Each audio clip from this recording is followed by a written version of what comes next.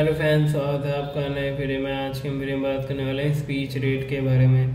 जैसे कि हम स्पीच रेट सेटिंग को किस तरीके से यूज़ कर सकते हैं, उसके बारे में बात करने वाला हूँ। तो चलिए फैंस वीडियो को शुरू करते हैं। वीडियो को शुरू करने से पहले अगर आप चैनल पर नए हैं तो चैनल को सब्सक्राइब कर वीडियो को लाइक कर दीजिए। फ़ैन जैसे कि आप देख सकते हैं, मेरे पास ये ओप्पो का फ़ोन है और आपको सबसे पहले सेटिंग पर जाना है तो क्लिक कर लेंगे फ़ैन सेटिंग पर।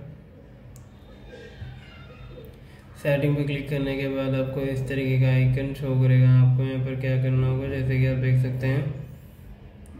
यहाँ पे आपको थोड़ा सा ऊपर की साइड स्क्रॉल करना है। और यहाँ पे आपको देखने के लिए मिलता है सिस्टम सेटिंग तो इस पर क्लिक करेंगे।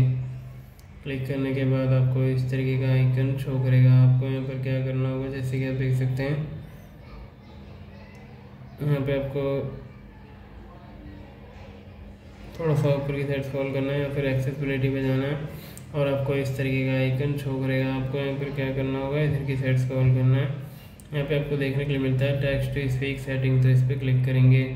क्लिक करने के बाद आपको इस तरीके का आइकन शो करेगा। आपको यहाँ पर क्या करना होगा? जैसे कि आप देख सकते हैं, ये देखिए स्पीच रेट तो स्पीच रेट को यहाँ से इंक्रीज़ करेंगे और डिक्रीज़ करेंगे। इस तरीके से यूज़ कर सकते हैं। यहाँ पे इसके प्राइस को इंक्रीज़ करेंगे और डिक्रीज़ करेंगे, लेकिन प्राइस को इसको इंक्रीज़ करके ही रखना है। और यहाँ पे आप देख सकते हैं फ्रेंड्स अगर आपको ऐसे समझ में नहीं आता है तो एक और तरीका उसके बारे में बताता हूँ।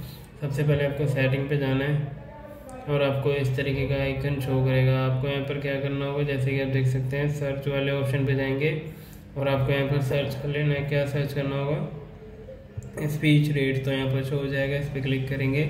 क्लिक करने के बाद आपका यहाँ पर शो हो जाएगा और इसे इंक्रीज डिक्रीज कर सकते हैं यूज़ कर सकते हैं।